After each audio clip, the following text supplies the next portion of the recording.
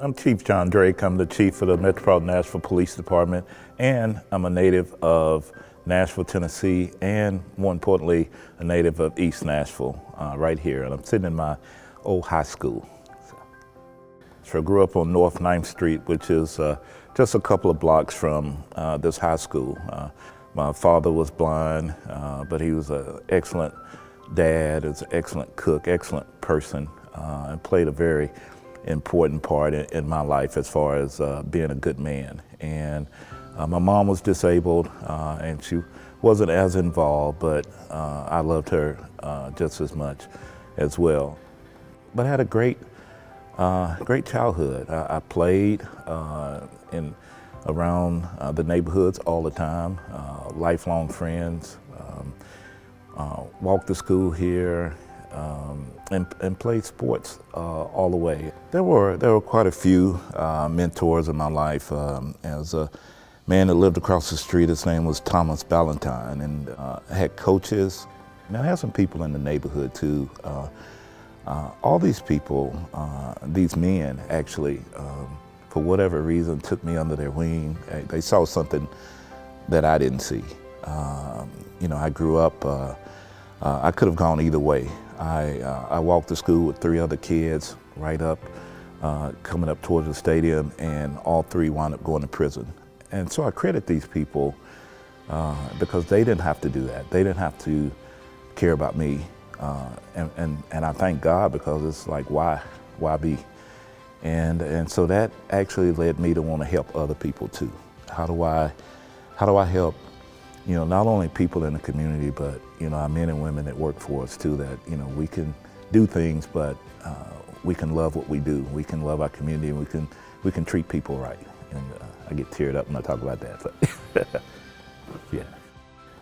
My high school years were spent right here at East Nashville High School. I was a really good uh, student. I made all A's and B's uh, all the way through school, uh, president student council. I was named the uh, football captain here at uh, East High School for the ninth grade team. I also wrestled, ran track. I was the captain in all three of those sports as well. Coming back to this school brings back a, a lot of memories. I remember graduating here and uh, and I had to do the invocation in front of everyone. And uh, really, I was nervous because as a as a kid, uh, I had this bad speech impediment, and uh, it was blah, blah, blah, blah, blah, blah, I just couldn't talk. And I was so nervous about it, and it, but it came off well. And uh, and so just coming back here uh, brings back a lot of memories. But it also shows that no matter what's going on in your life, whether you have a speech impediment, uh, whether you feel disadvantaged or from a vulnerable community, set your minds to it uh, and work towards your goal and you can get there.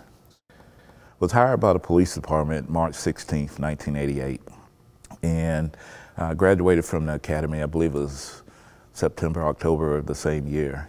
And then later going to Bethel uh, University, graduating, you know, while I was a police officer but still had the same. I made A's all the way through. My transcript from uh, followed me through and uh, graduated summa cum laude, uh, highest of honors. Um, well, I started my career doing different things within the police department. Um, uh, worked in investigations, I worked in narcotics, the Police Athletic League. Uh, took the promotional exam and uh, I got promoted to sergeant, I believe it was 2007, and I just set about doing good things. Then I kept going. Uh, it was a pretty quick ascent. Uh, I took the lieutenant's exam, uh, wound up making lieutenant. I got promoted to uh, captain. I did overnight field supervisor just for a short period of time, a few months.